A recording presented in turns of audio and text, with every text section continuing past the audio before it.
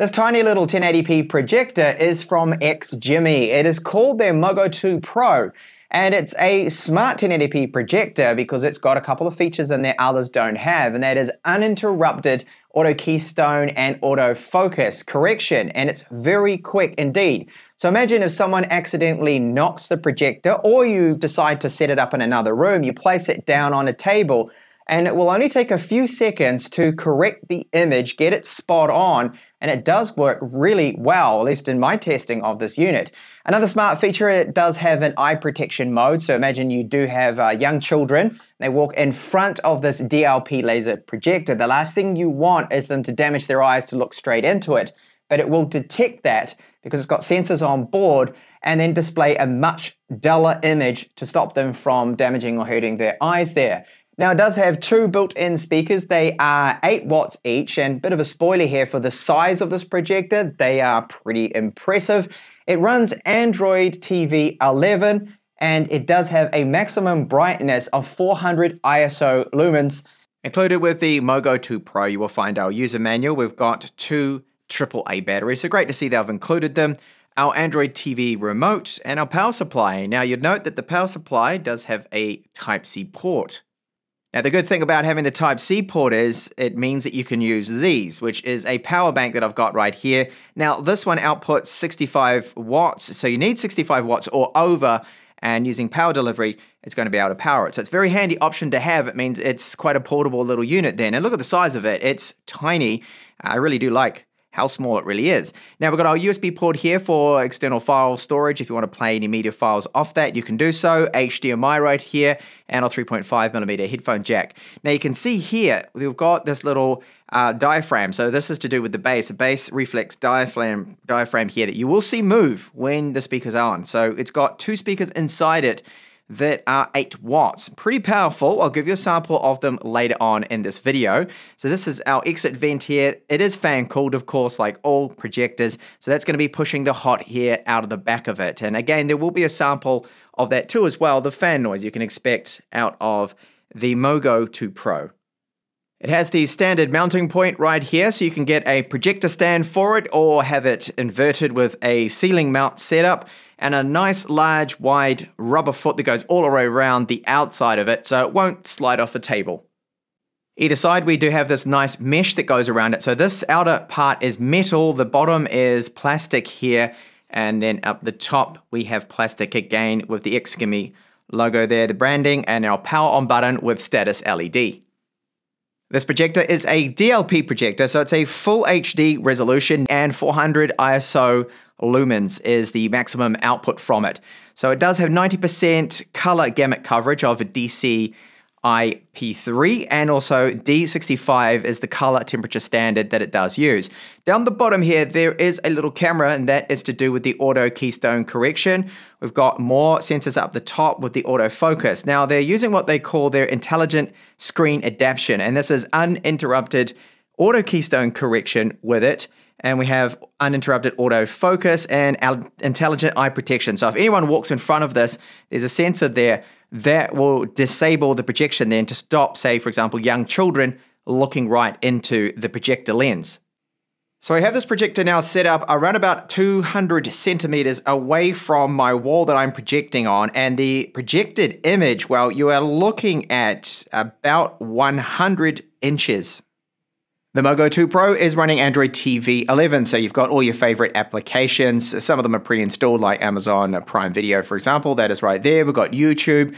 There's a lot on here. Now, Netflix was not installed by default. They do give you a guide inside the box on how to get it installed. And what it does involve is getting this application that is called, I'll just show you right here, Desktop Manager.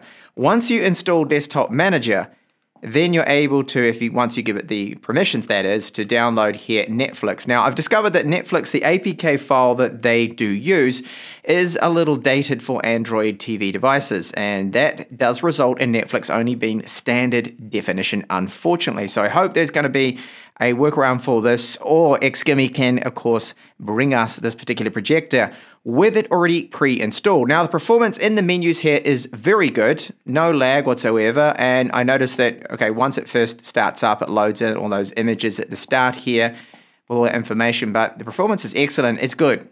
You don't really see any major slowdowns. Now it's got two gigabytes of RAM, and I believe it's running a quad core with 16 gigabytes of storage. So pretty standard there for Android TV, but it's great that it's all built into it. So I'll just run through some of the specific settings for this projector.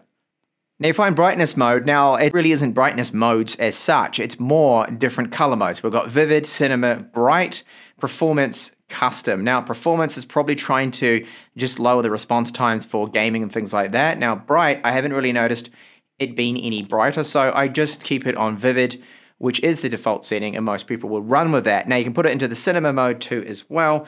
And as I mentioned before, I think I did, it's got a D65 color temperature standard too. So that's like the, the Hollywood standard for color temperature. You can set that up with it too as well. And then the DCI P3 color coverage. Now, keystone correction, it's got the automatic keystone correction, which you're currently looking at is actually very good. The way it aligned everything, it looks very level to me on the wall, no problems with it. Manual keystone correction, image zoom displacement and keystone settings. So you can manually go along and change that for yourself.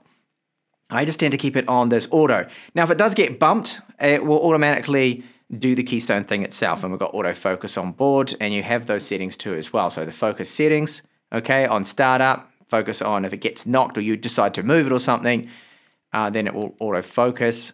Placement, so if it is going to be ceiling mounted, then you can set this up. Rear, or rear ceiling, and it can auto vertical flip too as well. If you needed that, well, it's good, it's got all that. And under others, you can find a few other things here. So the HDMI control settings, focus calibration, keystone calibration, Bluetooth visibility, auto eye protection, you can disable that if you want. And eco mode, maybe if you're running off a power bank, you want to get the maximum amount of time out of it, then you can turn on this eco mode, which is a nice setting to have there. Now I'm in Amazon Prime Video, which yes, does support full HD and it is already pre-installed. So the menu performance is pretty much like the Android TV menus, that it is quick, it's fluid here, and it didn't take long at all to load. Now I'm on the Wi-Fi 5 at the moment here. It does not support Wi-Fi 6, of course. They, they normally don't, they don't, most of them and you'll find that this performance is very good. So I'm just going to go ahead into one of these episodes and just quickly load it. Now, for obvious reasons, I can't show you much of this at all, just a few seconds. It's just to check out the performance of it. So a few seconds to cache that in, and that performance is looking very good. Loaded in really quick and helped by the fact that yes, I do have one gigabit fiber now up and down, so that uh, there's no bottlenecks with I believe the performance, especially not with my wireless. Now I've just logged into Netflix, and you can see the menu here all popped in really quick. That is again really great to see this performance. Although down there that hasn't loaded in, only on Netflix Action that seems to be a bit slow there caching that. So I'll just go into this again to show you what the performance is like. Jump into an episode here of Vikings. And this should be quite quick, halfway through. All right, that loaded in really fast. Now having a look at YouTube, this is the YouTube app and I'm gonna set it here, even though it doesn't support it, I'll put this on 4K, but it's gonna be scaling the image down, of course, to just full HD to take a look at, just briefly, how good this projection looks. Now I can see that the quality of YouTube does have a lot of compression. There we go. Now it's over in full HD. That is looking absolutely stunning. So great colors, very good sharpness to it.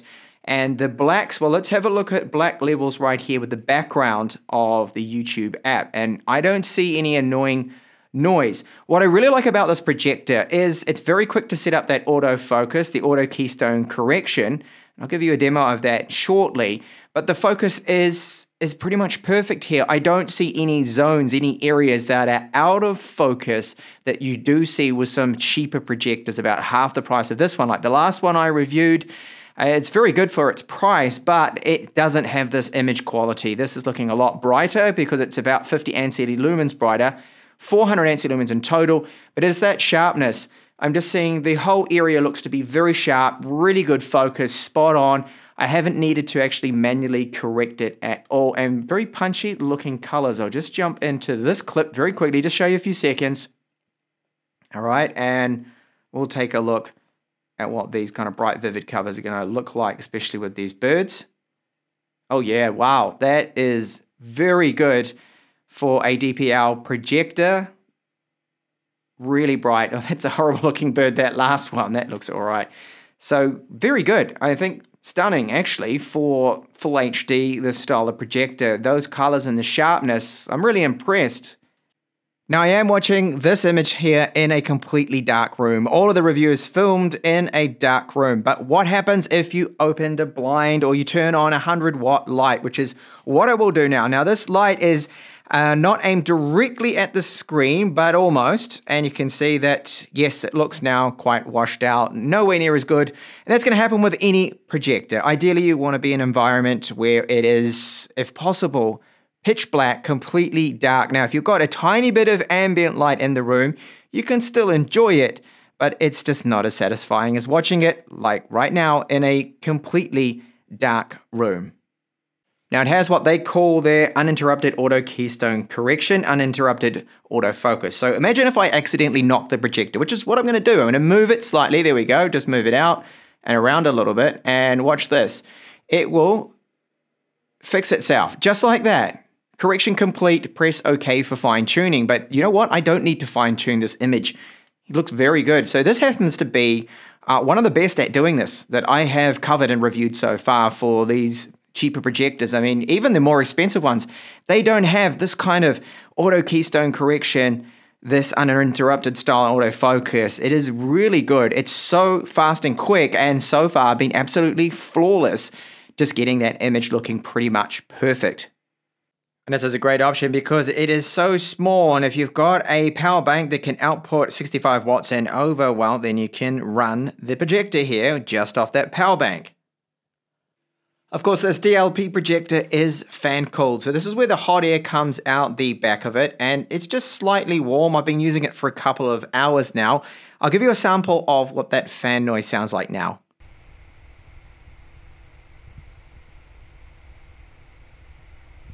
Now that is a very standard fan noise that's coming through it. It's not that loud and when you are playing audio through the speakers you won't really hear it. Now the great thing about it, it's a constant RPM. So it's not a variable RPM. It could suddenly be roaring away, then it's quiet, then it's on, then it's off. No, it's always like this with this same constant fan noise.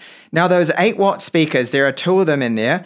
And we've got that little bass reflex diaphragm at the back here. I'm going to test it out now with a sample track. Again, this is going to be about 90% volume, just so you can get an idea of what this little unit sounds like. But it's impressive for the size of it. It has quite good little built-in speakers.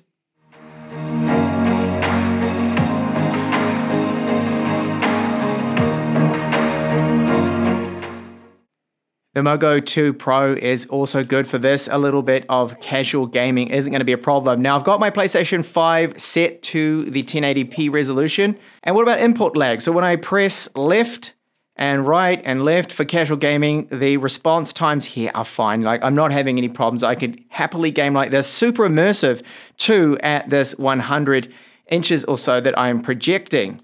Now, as soon as I did turn on my PlayStation 5, it detected it automatically and swapped over to the HDMI input as its source.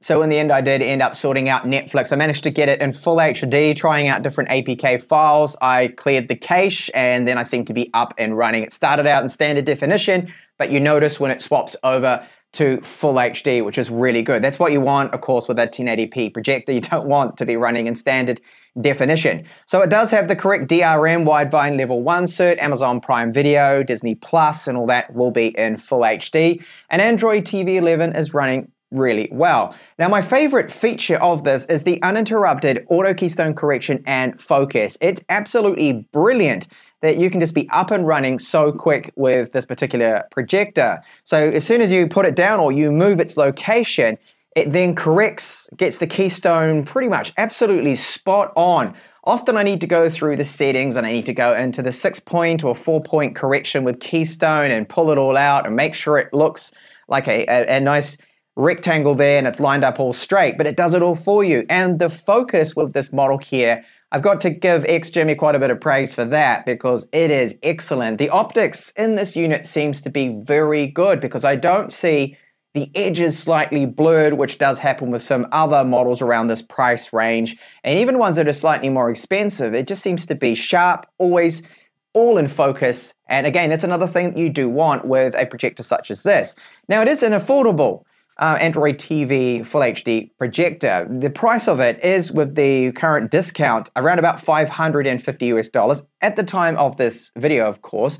And I think that's not bad considering the competition out there is quite a bit more expensive. You're talking about 800 or around 700 US dollars. Sure, some of them could be a little bit brighter, but you're not really going to notice something like 50 ISO lumens difference um, between them there. And because this has such a good focus, I would rather actually go for this model here. So I am impressed with the size of it, how those 8 watt speakers do sound too, pretty good considering just it's a tiny little unit here. The only thing I could really say that this does fault, and it doesn't really kind of need it in my current setup, but it could with some other people, is it doesn't have a little kickstand on the bottom of it, which would have been nice. That way we could have propped it up for certain scenarios. But of course, you can run it inverted. It does have that option. You can go through the settings and set that up. It's just a very minor thing. That's really the only fault I have. The fan noise as well is, is pretty good. You hardly really notice it when it's running, and especially if you're using those speakers. So that's the full story there of the XGIMI Mogo 2 Pro. Thank you so much for watching my review.